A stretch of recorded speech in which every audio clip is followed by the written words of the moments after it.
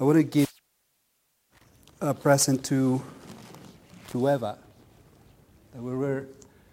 And um, first of all, the turtle that you have has been yours already, you know, all along. It was supposed to be borrowed, and that, you know, is, and yeah, she's slow, but she carries her home with her, all along.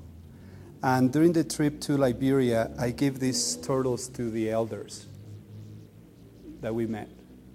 And this is also a turtle that we gave to, to Maria. And I want to tell you that I'm standing, but I'm also on my knees, the sense of the reverence that I have. How you carry your and and I, and I want to give you these again in the behalf of, of all of us. They may just serve just as a reminder of, of your ancestry, of our ancestry, and, and what you represent, what this journey represents as, as a landmark in, in your life.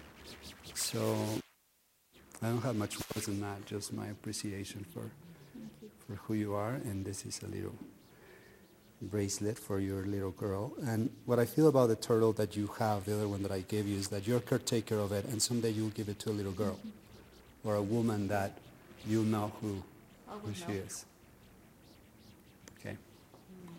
Thank you.